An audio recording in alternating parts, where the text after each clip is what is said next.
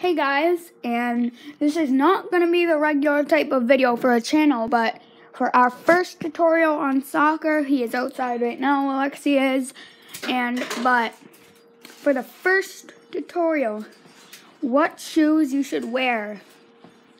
For me, I just go with classic Nike running shoes right here.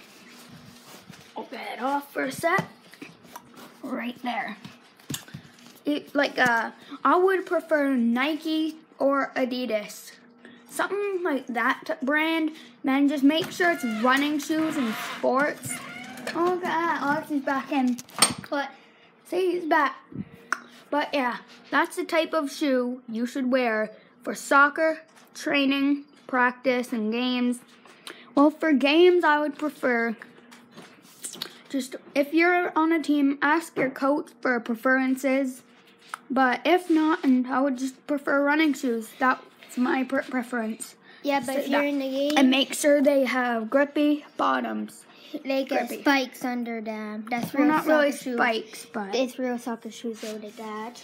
Not that though. Not not like this. I just wear these for making videos. Yeah, but these aren't the real soccer shoes. You got any on you? Oh no. Not, if you if you can, get the spikes on the bottom. If not, just get a classic shoe. Like this. Classic running shoe.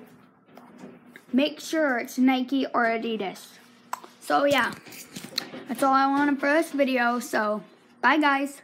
First video. Peace. Say peace. Peace.